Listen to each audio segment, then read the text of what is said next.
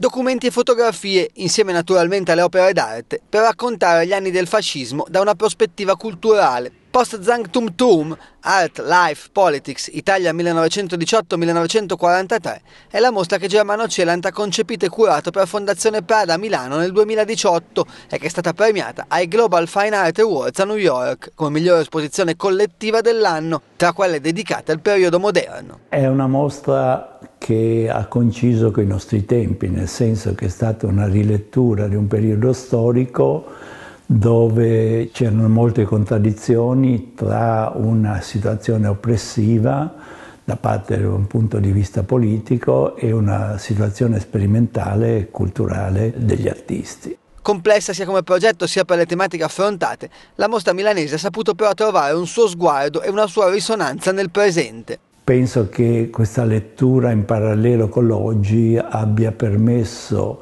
da un punto di vista, chiamiamolo così, americano, di poter premiare questa manifestazione.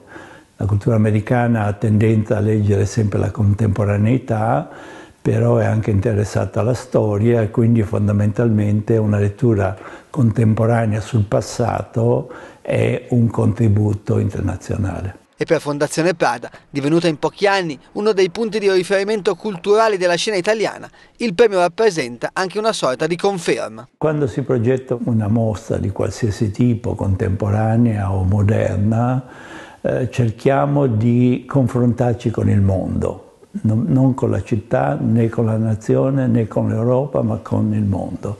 E quindi cerchiamo di dare un contributo che sia veramente globale.